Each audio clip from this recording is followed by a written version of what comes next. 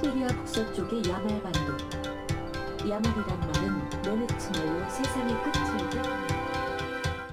제가 어, 제 개인 욕심인데 툰드라에 대해서는 사실 좀 욕심이 많이 났었고요. 극장판까지도 기회를 주셔서 저는 그냥 감사해요. 기분 좋은데요. 1년 내내 유목 생활을 하는 혹독한 추위 속에서도 행복한 사람들이 있습니다.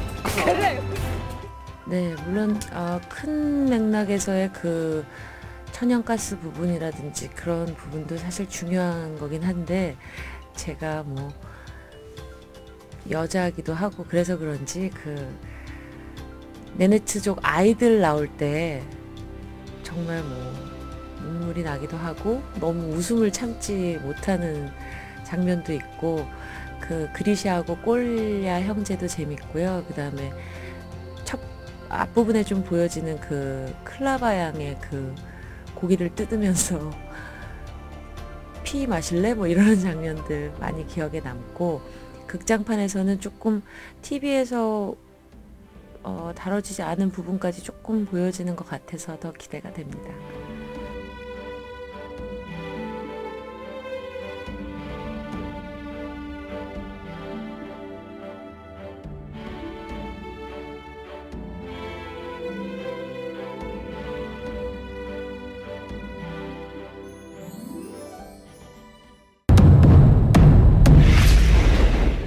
영하 60도, 지구상 가장 추운 곳, 북극 아래 첫 땅, 시베리아 툰드라.